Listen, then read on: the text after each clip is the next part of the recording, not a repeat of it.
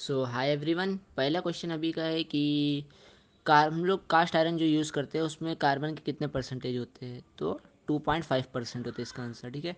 Next question पे आते हैं। नेक्स्ट क्वेश्चन अपना है कि हम लोग स्टील में वो कौन सा एलिमेंट मतलब ऐड करते हैं, जिससे जो उसके कोरिजन को रेजिस्ट करने की क्षमता है, वो बढ़ जाती है। तो इसमें हम लोग यूज़ करते हैं क्रोमियम का।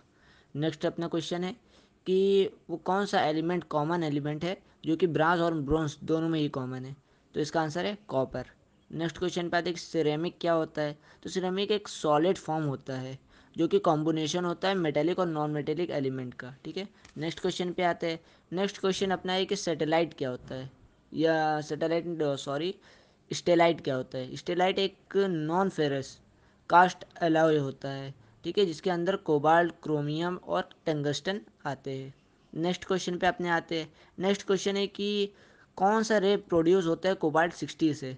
वो भी इंडस्ट्रियल रेडियोग्राफी में। तो इसका आंसर कि गामा रेस। नेक्स्ट क्वेश्चन अपना है कि कार टायर में यूजुअली हम लोग किस मटेरियल का यूज़ करते हैं? ठीक है तो इसका जो मटेरियल है वो है स्टायरिन, ब्यूटाडिन, रबर।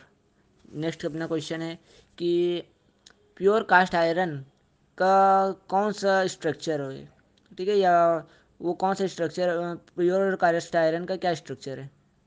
और क्या ये सॉफ्ट होता है या हार्ड होता है? ठीक है तो इसका आंसर हम लोग कह सकते हैं कि जो स्ट्रक्चर है वो, उसको हम लोग कहते हैं फेराइट और ये सॉफ्ट होता है। ठीक है नेक्स्ट क्वेश्चन पे आते हैं कि क्या डिफरेंस है ब्रास और ब्रॉन्ज में?